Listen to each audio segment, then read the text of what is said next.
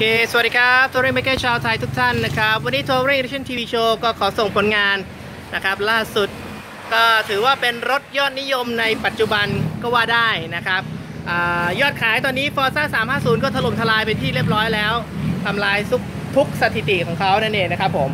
ก็คันนี้ก็ถือเป็น 350 ใหม่กริบกริบป้ายทะเบียนยังไม่ได้เลยนะครับ วันนี้ต้องขอบคุณลูกค้าแฟนแฟนรายการ Touring Station นะครับ ก็มาสั่งจัดชุดปี๊บอลูมิเนียม แผ่นเทอร์โมโต5อ่า65 ลิตร ใส่หมวกกันน็อก2ใบแจบจำจุจุแบบนี้เลย ชุดข้างที่ลูกค้าเลือกวันนี้นะครับ ถือเป็นชุดขายดี ชุดยอดนิยมนะครับ ก็เป็นกล่องแชทขนาดความจุ 23 ลิตรต่อข้างนะครับ รหัสของเขาก็คือแชท HS 23ครับเพื่อนครับ เนี่ย อ่า มาพร้อมขายึดอะแดปเตอร์ rack ท้ายแพนเทอร์โมโตตรงรุ่นนะครับเพื่อนสามารถที่จะสั่งซื้อแล้วก็ไปติดตั้งเองได้เลยนะครับสำหรับชุดนี้ ลงตัวที่สวยแล้วก็ที่มันลงตัวมากก็คือว่าาตัวปี๊บเนี่ยเป็นสีเงินแบบนี้นะครับ ฝากล่องจะเป็นฝาสีไทเทเนียมแบบนี้นะครับ ซึ่งมันจะไปเข้ากับชุดชุดสีของตัว Forza 350 ของเขาแบบนี้นั่นเองนะครับ อ่าในส่วนของตัวกล่องปี๊บอ่าปี๊บอลูมิเนียม 65 ลิตรเราเคยทำรีวิวกันไปแล้วอะกุญแจ เดี๋ยวขออนุญาตยืมกุญแจน่อยครับขออนุญาตยืมกุญแจน่อยครับขอบคุณครับอ่าตัวปี๊บ65 ลิตรก็ความจุก็จะประมาณนี้ปึ๊บไขกุญแจกดสลักยกขึ้นนะครับ กดฝาลงนิดนึงครับ แล้วก็ให้สลักมันปลดออกมาจากตัวขอเกี่ยวแบบนี้นี่ฮะเปิดขึ้นมานะครับ ภายในมี inner แบบนี้เลยนี่ครับ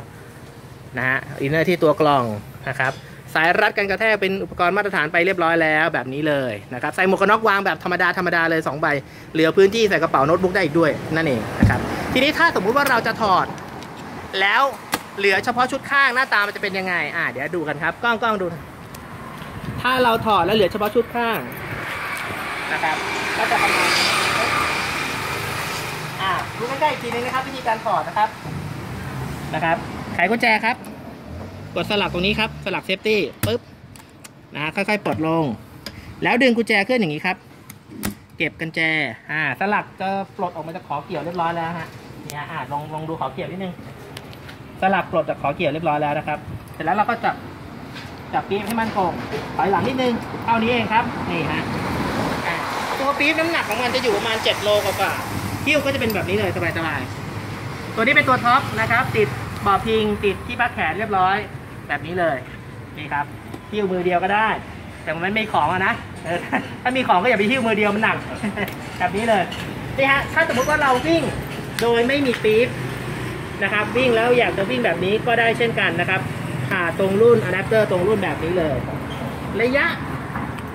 ระยะที่เราบอกให้กะนะครับ ก็คือระยะประมาณ1ฝ่ามือนะครับ ประมาณ 1 ฝ่ามือที่เกินออกมาจากกระจก ในกรณีที่เราติดตั้งแหลกข้างกล่องข้างแบบนี้นั่นเองก็ถือว่ายังมุดได้ไปได้นะครับเวลาใส่ก็ง่ายๆแบบนี้ครับ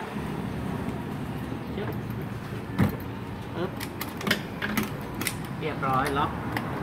อ่าหรือไปนานเสร็จสิ้นนะครับ ส่วนตัวกล่องข้างนะครับแชร์23 ลิตร สามารถถอดออกจากตัวรถได้เช่นกันนะครับ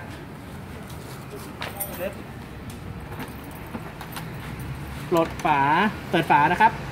กดสลักปึ๊บถอดออกมานะครับตัวแหลกตัวนี้ก็จะอยู่กับรถอยู่ตลอดเวลาทรงก็จะไม่ได้เก็บกะอะไรเลย สังเกตอีกจุดหนึ่งนะครับ ผมว่าในส่วนของตัวแร็คเนี่ย ถ้ามีแร็คเปล่าๆเนี่ย ไม่ได้เกินแฮนด์เลยนะครับ ไม่เกินแฮนด์เลยครับระยะของเขานะครับ สามารถที่จะวิ่งปี๊บเปล่าได้เลยเย้เวลาใส่ก็ง่ายๆครับนะครับใส่เข้าไปปั๊บ กดสลักลง เรียบร้อยปึ๊บถือว่าลงตัวแล้วก็อ่าสวยงามเลยทีเดียวสำหรับชุดนี้ก็เป็นอีกหนึ่งชุดที่เราภาคภูมิใจนำเสนอขอบคุณที่ติดตามชมครับ เดี๋ยวมีอะไรอัปเดตอีกทีก็ขอให้ทุกท่านปลอดภัย safety safety นะครับสวัสดีครับ